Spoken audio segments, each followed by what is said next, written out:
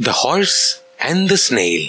There once lived a proud horse in a big farm. One day, while he was walking across the farm, he saw a snail.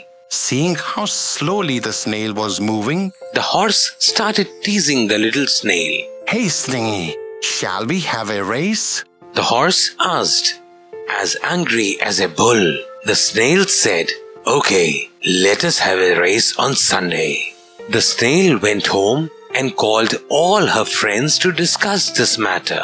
She told everyone about the race. They made a clever plan to fool the horse. Since all the snails look alike, they decided to confuse the horse with their intelligence. When Sunday came, they left home very early. They started hiding in places away from each other, all the way from the starting point till the finishing line. The race started.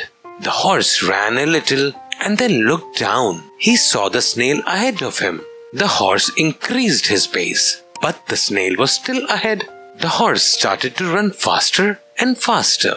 No matter how hard the horse tried, he was still behind the snail. Finally, the horse gave up after trying so hard, Okay, I lose, I lose.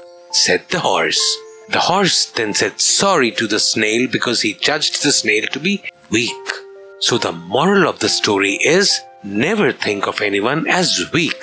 Every creature is unique and powerful in its own.